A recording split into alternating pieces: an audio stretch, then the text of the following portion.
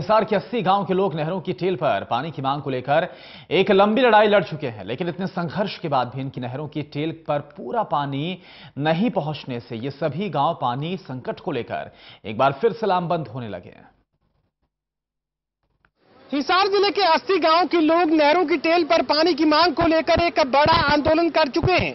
आंदोलन की सफलता के रूप में मुख्यमंत्री से इन गाँव के लोगों को आश्वासन मिला, वायदा मिला, लेकिन उस वायदे को पूरा नहीं किया गया। यही वजह है कि 80 गाँव के लोग एक बार फिर से लामबंद हो चुके हैं अपने इस पानी के संकट को लेकर और एक बार फिर से बड़े आंदोलन की तैयारी के रूप में सामने आने लगे। अब मुझे बताइए कि एक बार फिर से आंदोलन की बात आप कर रहे हैं, क्या वजह? है वजह ये है, हमने छह महीने का समय दिया था सरकार को सरकार ने भी माना था कि छह महीने के अंदर आपको बरसात के सीज़न में लगातार पानी टैलों पर पूरा पानी और दो सप्ताह पानी जो हमारा समझौता हुआ था, उस समझौते के अनुसार हमें दो सप्ताह पानी मिलना था।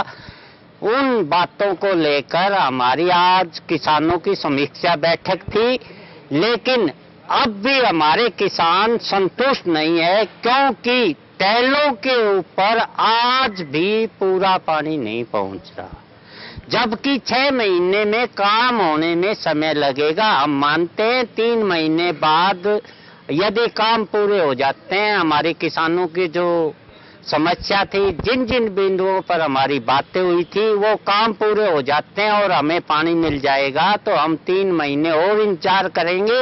लेकिन एक कमी की वजह से आज जो टैलों पर हमें एक सप्ताह भी पूरा पानी नहीं मिल रहा वो कम से कम एक सप्ताह तो पूरा चले बैलेंस का पानी जब हमने मांगा वो पानी एक बार दिया गया लेकिन वो भी दो चार दिन चलाकर टैलों पर पहुँचा नहीं वो बैलेंस का पानी भी नहीं मिला हमें। यानी सरकार ने जो कहा जो वायदा किया वो निभाया नहीं? नहीं अभी तक तो कुछ नहीं निभाया। सरकार ने वायदा वादा खिलाफी कर रही फ़िलहाल तो मेन बात तो टेल पे पानी की थी। वो टेल पे पानी भी अभी तक हमारा पूरा नहीं पूछा। किसी टेल पे पानी पूरा नहीं है अभी तक।